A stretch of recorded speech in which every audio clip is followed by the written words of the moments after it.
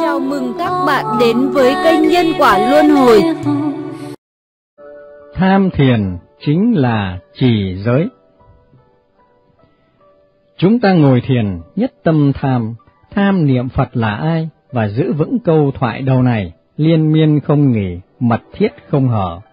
Vậy trong thời gian tham, niệm Phật là ai, chúng ta có thể gây được nghiệp xấu chăng? Như là sát sinh, ăn trộm, tà dâm hoặc nói dối, uống rượu được chăng? Tuyệt đối không thể có những chuyện đó. Vậy là trì giới, có câu nói, bất trì, chi trì. Chẳng dụng ý trì giới mà tự nhiên trì giới. Trì giới sẽ sinh định lực, do định mà sanh ra huệ.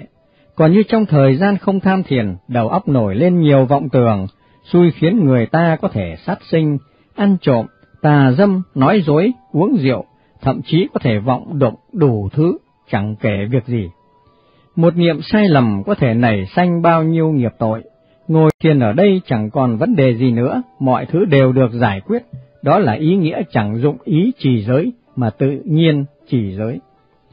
Ngồi thiền ở đây tức là chăm tu giới định huệ, tu giới định huệ tức là diệt trừ tham sân si, cho nên tham thiền bao gồm đầy đủ các pháp tu, hết mọi pháp đều nằm trọn trong tham thiền. Chúng ta tham nhưng phải tham hoạt thiền, càng tham càng có trí huệ, chớ có tham tử thiền, càng tham càng ngu si, lấy mặt trời cho là mặt trăng, há chẳng phải là điên đảo sao?